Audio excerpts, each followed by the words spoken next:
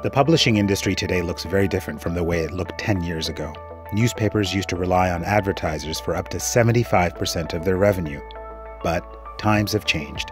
Publishers have been pushed to find alternate sources of revenue, and subscriber revenue makes a lot of sense for their business models. This has led many newspapers to explore paywalls. There are two common types of paywalls a hard paywall, which can prevent readers from getting enough information to decide to subscribe, and a metered paywall, which can backfire if readers see only the content that they don't value enough to pay for. There's a fine line between luring an interested reader and scaring one away by asking them to pay too soon.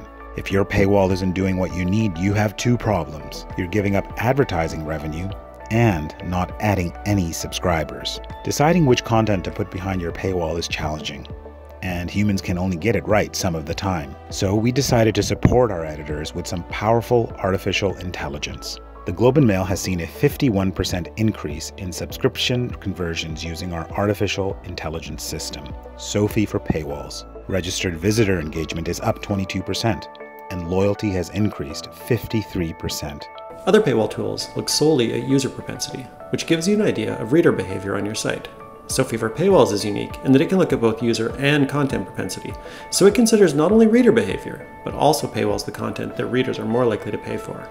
We started out just looking at content propensity, and using Sophi to automatically put stories behind our paywall, we were able to generate several million dollars in incremental revenue without changing how our journalists did their job. Then, when we added our user propensity paywall and looked at both users and content, we were able to generate more than $10 million in lift for the business. What we've been able to do is use both user and content propensity models to create a fully dynamic paywall that takes into account a whole range of complex variables to unlock more value. A solid foundation in subscriber revenue at the Globe means that we can continue to pursue the kind of ambitious, trustworthy, independent, nation building journalism that the Globe Mail is known for in Canada. Sophi for Paywalls has been a fundamental driver in transforming and fueling our entire business model to a subscription first approach. Sophi's AI driven paywall innovation has actually generated 10 times more subscription revenue than we originally expected. And that's a number I can get behind. Ask us how Sophi for Paywalls can solve your revenue problems.